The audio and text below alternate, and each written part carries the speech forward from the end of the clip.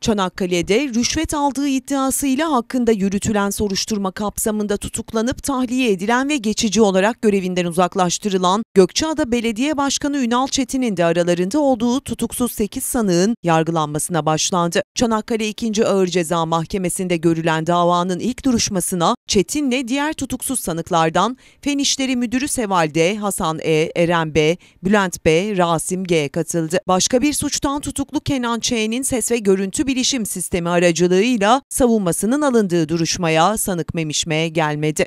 Savunmasını yapan Ünal Çetin, kamu görevlisi olduğunu, 21 yıl öğretmenlik mesleğini icra ettiğini söyledi. Belediye başkanlığı sürecinde kendisine verilen yetki ve yasalar çerçevesinde görevini yerine getirdiğini belirten Çetin, hakkındaki suçlamaları reddetti.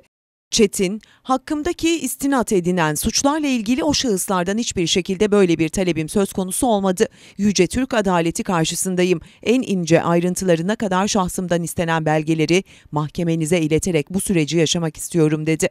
Kenan Ç. ise tarlasını arsa vasfına dönüştürmek için müracaat ettiği belediyeden planlama ve harç gideri adı altında istenen 100 bin lirayı Çetin'in kendisi için rüşvet olarak talep ettiği şeklinde algılandığını ileri sürdü. Celseye katılan diğer sanıklar da haklarındaki suçlamaları reddederek rüşvet alınıp verilmesinin söz konusu olmadığını iddia etti.